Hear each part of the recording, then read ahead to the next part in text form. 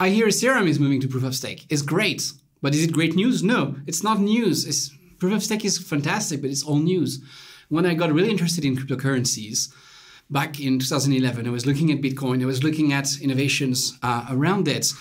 I look at consensus algorithms and I look at Sybil prevention mechanism. One technique is to use energy. Everyone who spends energy is going to be part of the consensus group. And that worked well for Bitcoin, but it's costly, right? If you want to secure the network, you need to constantly incentivize people to be burning this energy. And how are you going to do that? Well, you can do it with block reward, which are inflationary, or you can do it with transaction fees, but you have to jack up the price of transaction fees really high if you want to secure the network. And even then, that's assuming people are not going to use alternative networks or even uh, channels like the Lightning Network. So proof of stake made more sense. It had better incentives, better security properties. Yes, the security properties of proof of work and proof of stake are different. You lose some property with proof of stake. You lose one.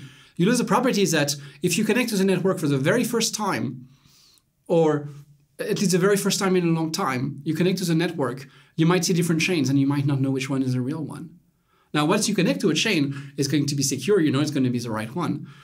Is that a very important property? Well, if you're a very small, obscure chain, maybe, but if you're a pillar of commerce, no. You know, the right chain is the one that's being accepted by the merchant you're trying to pay in the first place. It's pretty much a non issue, and all the other security properties you gain out of proof of stake are much better. You see, the problem is it's cheap to think in trade offs. Everyone's it's, it's, it's an easy way to sound smart by making a trade off, saying, oh, yes, yes, proof of stake is uh, is better for the environment or is you know is cheaper but of course its security properties are not as good as proof of work. Because if you make it a trade-off then you know you can think about like oh what do you prefer? What's more valuable? It makes for a more interesting discussion if you have better security properties and lower cost then it's too obvious why would some people be you know using proof of work but that's just the case. The security properties are better. You can better deal with attacks in a proof of stake network. You have better incentives it works. And it's been working for a while too. There were pioneers uh, that didn't quite work out. You know, Peercoin didn't work. Peercoin had a nothing at stake problem. NXT worked better, much better, but it didn't have any economic incentives for people not to cheat. The first proof of stake protocol that launched with economic incentive not to cheat, with uh, some form of slashing, was Tezos.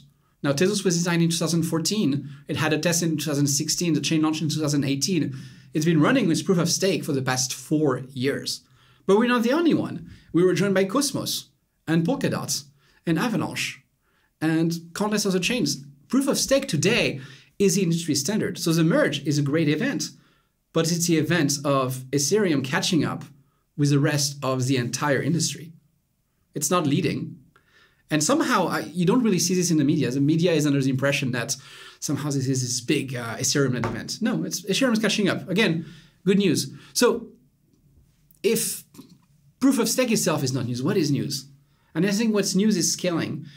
We're seeing across the board really interesting scaling ideas being pushed. And those ideas, of course, are being implemented in Tezos. But the Tezos implementation is different. It's different because it's not relying on companies backed by VCs that will sell you a token in order to scale. It's not reliant on you having to run a very, very powerful machine to participate in a network. It's based on decentralization so that you can still connect to the network and validate it with just one Raspberry Pi. It's based on economic integrity, in a sense that the only token you need to participate in Tezos is Tez. And it's based on a sensible design. You see, Ethereum has been mucking around with many designs. In 2017, uh, Ethereum was very, very focused on sharding. I wrote a blog post at the time explaining why I wasn't interested in this sharding strategy, and I described something which today is uh, more popularly implemented as a ZK rollup. I believe today optimistic rollups are the way to go. But optimistic rollup, which are implemented within the protocol, which are enshrined in the protocol, which are part of the economic unit of the chain, not a product where you have to buy a token for a VC to use it. So that's the future. That's what's interesting. Having chains which are accessible by everyone because transactions do not cost you hundreds of dollars to make, but pennies or even less than that. Over the course of the next year, I'm super excited to see Tezos grow in its uh, scaling uh, uh, uh abilities. We're going to see new applications uh, empowered by um, this very large throughput.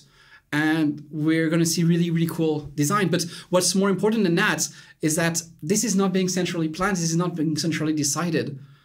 The tezos protocol evolves based on a real governance model. There's not someone who decided that the merge would happen on that date. And oh by the way it's your free choice you know you can either install the hard forks that we told you to install or if you don't you're going to be left alone by the network. Fork based governance is not a real choice. It's centrally controlled choice. Blockchain should not be centralized and decisions around the technological content and the integrity of the protocol should not be left in the hands of developers. They should be in the hands of the communities. And tezos has done this successfully. Tezos has had more than 10 major upgrades happen with a vote of the participants, with the vote of the bakers, with the vote of the token holders, with really high participation rates. I don't think there's a point in building those systems if they're not going to be decentralized. You know, if, if you don't want decentralization, use a database. They are very, very good for a lot of uh, applications.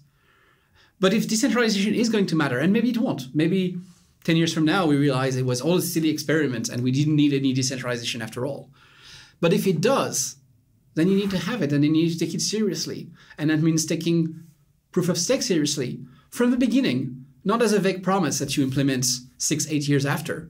It means taking governance seriously. It means taking scaling seriously. And that's, I think, what, we'll, what we're seeing and what we have seen in, uh, in the Tezos protocol. So thank you for watching. And to Ethereum, welcome to the Proof of Stake Club.